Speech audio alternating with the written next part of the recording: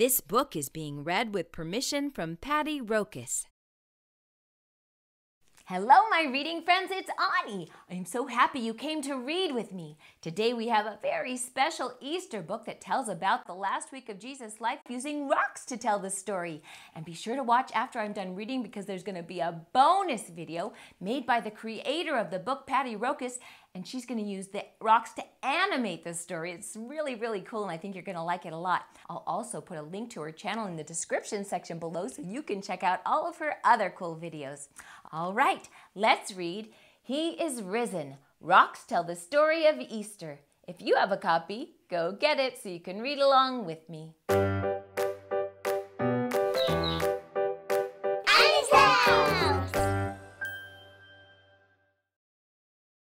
He is risen.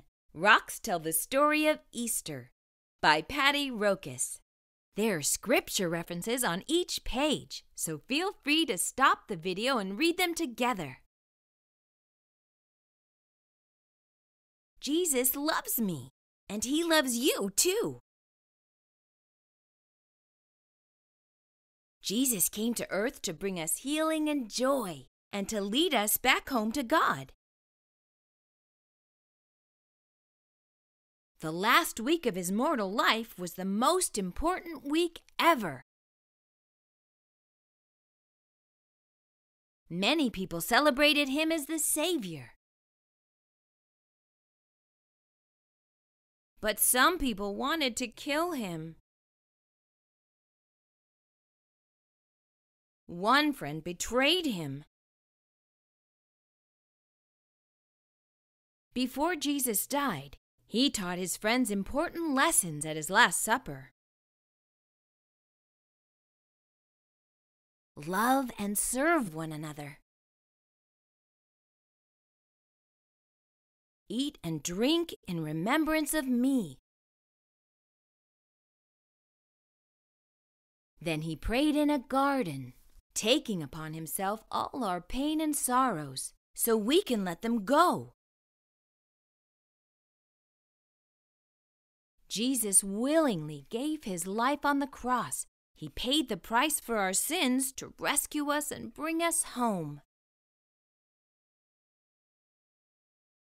He was buried in a tomb. After three days, Jesus came back to life. We will all live again because he conquered death. Alive again, Jesus visited his friends. He asked his friends to share the good news. Jesus went to heaven. He promised to come back. Jesus did it all for me and for you.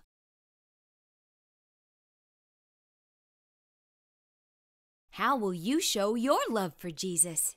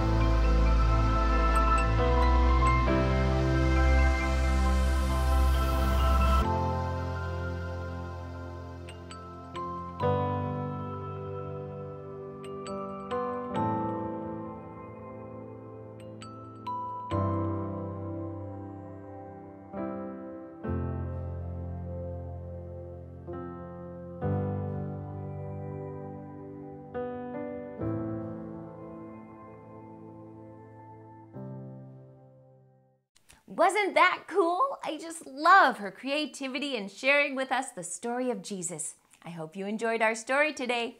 See you next time.